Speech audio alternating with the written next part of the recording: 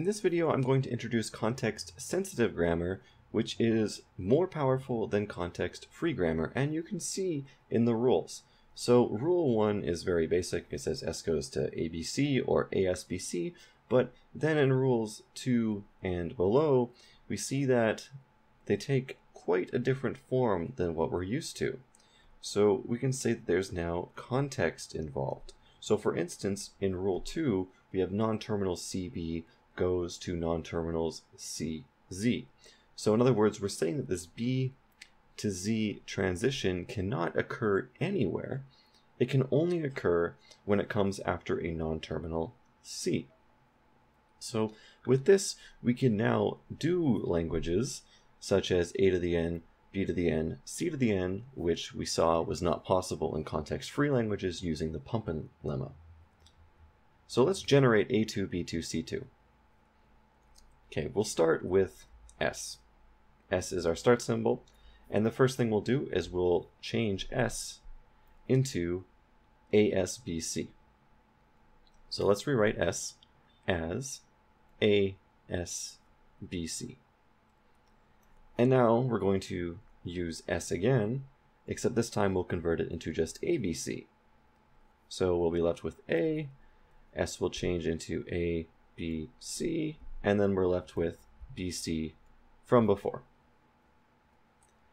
Okay, so now we have AA, which is what we want. But we have this problem because BC is out of order. So in context-free languages, if we had to pump something, we would have this ordering problem if we wanted to pump all the numbers up equally. But now, using a set of rewrite rules, 2 to 5, we can reorder B and C, or should I say we should reorder really the C and B here, in order to get the right order. So let's do this C and B. Why not? Let's start with this. So really what I should do is I should go left to right. So I should take care of this AB first with rule number six. So I will start with that first. Let's take A, we'll change this to AB, and then we'll be left with C B, C. And now we can start with the non-terminals.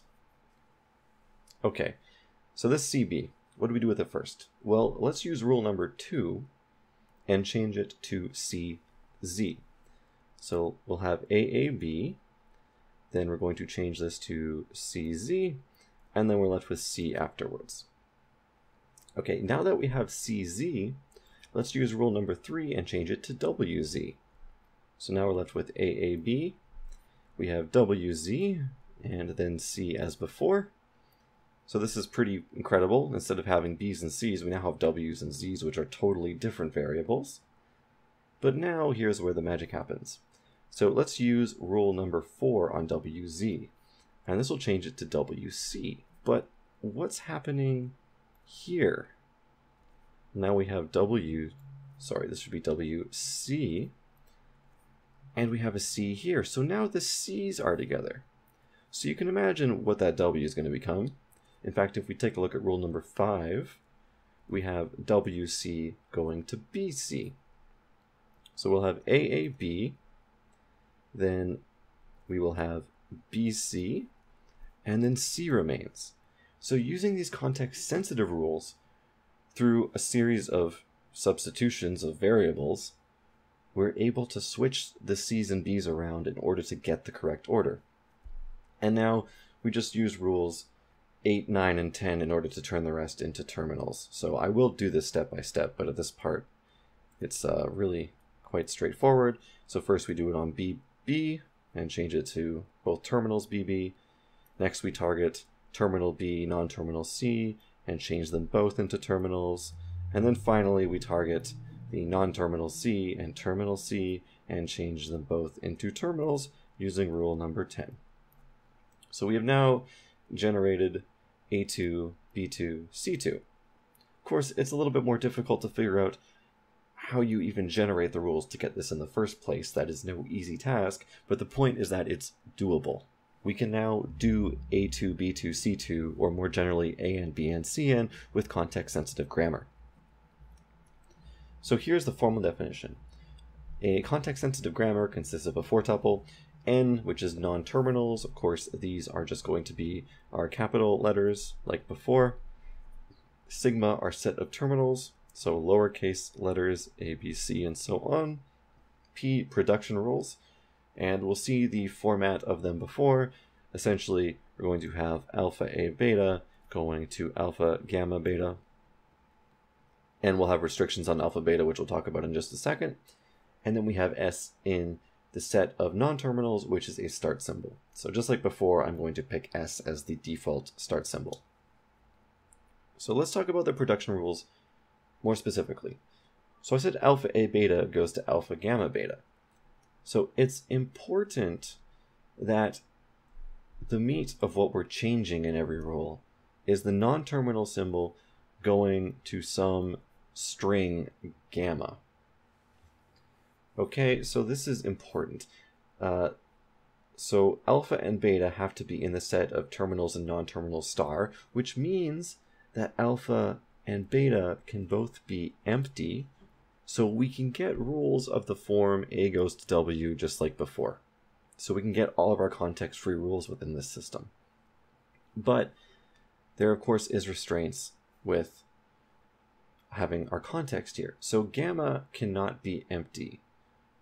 In other words, we can't have something like alpha A beta just going to alpha beta. So we can't just delete A. It has to consist of something. So that's our limitations. And another thing, which probably came up in your minds right away, why couldn't we just do, sorry, let's go CB to BC? So why can't we do that? Well, this would violate our restriction. So we have to pick one of these. So in our form alpha A beta, one of these has to be A. So let's say that this beta, or this, sorry, this capital B is A. Then this means that C is alpha. But if C is alpha in our output, then that means that whatever string came out on the right side, which would be gamma, would have to fill this position. We can't have gamma before alpha. And suppose that alpha actually changed into gamma, which was C, then this B would be our alpha, which has to be the same, but these do not match. So a rule like CB to BC is not acceptable in the system. So it's not that we can do whatever we want. It's that we can rewrite a certain non-terminal given some context, but the context has to stay the same. In fact, where else in linguistics do we see these rules? Well, let's let's actually outline something like this. I'm trying to think of something that we've seen before, such as nasal place assimilation. So let's say we have some nasal N, and then we say it picks up alpha place. I'm being very general here, given that whatever comes after the position has whatever place value. So this plus const alpha place, meaning that if we have, say, n, and after the n comes a k, then n will become ng. So we get something like ink. And these are just context sensitive rules. What it's saying is that if we have n and then some place feature here, it just transforms into ng and then the place is the same for whatever consonant here. So let's call this k. So in other words, another way to write this would be nk goes to nk. In this case, we have a being a terminal, gamma. We have an empty alpha position on both sides, but our beta is still the same. So these early phonology rules you've learned, it's just an application of context-sensitive grammar, which is kind of cool. In fact, nobody's ever going to tell you that until you read one of these books or at least learn some mathematical linguistics. And even then, it's not heavily used in phonology, it's more used in syntax. So this is one of those hidden things that you're probably not taught during your curriculum. That's kind of cool to see. Okay, enough about that. Let's get to the main point here. All context-free languages are context-sensitive, but that's not the same the other way. In other words, these alphas and betas can be empty, and we can just be left with rules of the form A goes to gamma, which we can just rewrite as W as a string. So there is this hierarchy called, of course, the Chomsky hierarchy. I haven't written everything here. If you go to Wikipedia, and I am recommending Wikipedia for the Chomsky hierarchy, you will see about 15 or so different types of languages, and you'll see how they are in terms of power. Regular is very weak, context free is stronger, context sensitive is even stronger. There is one further level, which would be Turing machine equivalent, which is just way too powerful for human language because you can do whatever you want. In fact, even context sensitive might be a little bit too powerful. For instance, what can context sensitive languages do that context free can't? Well, context free grammars can't make a distinction between center embedding and cross serial dependencies, but context sensitive grammars can. So that's a good thing. So, what does center embedding look like? Center embedding is when you have an equal number of NPs, an equal number of Vs, and they link according to outsides go together and then it moves in. So NP1 goes with V1, which is at the end, NP2 goes with V2, which is the second end, then NP3, V3. So there's this kind of center embedding. So a sentence like, the dog, the cat, the mouse chased, hit, ran away. Very difficult to understand. Cross-serial dependencies, mainly demonstrated in German, but also do appear in English, uh, work a little bit differently. So they have different crossing structures. Again, NP1 links with V1, which are equal distance apart, NP2 with V2, equal distance apart, NP3, V3, equal distance apart. So although context-free languages can generate NP to the N, V to the N languages, both of these are of the form NP to the N, V to the N, but they have different structures. And context sensitive languages can get us to those structures. So in other words, context free is too weak. Context sensitive seems to be what seems to be about where we should be. But the question is, is it too powerful? And maybe there's a grammar that's a little bit less powerful than a context sensitive grammar, but can generate exactly enough that we need for the English language and other languages as well.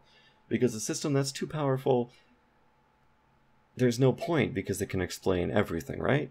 But if a system is too weak, there's things that can't be explained. So we want this middle ground where we have a system that is just enough to explain everything that happens in language, but doesn't overgenerate. So in the next video, I will introduce tree adjoining grammar, which will look very similar to the syntax you've seen before, and deals with some phenomena in syntax such as islands very, very nicely. So if you have any questions, please leave them in the comments below, and I'll answer them the best that I can.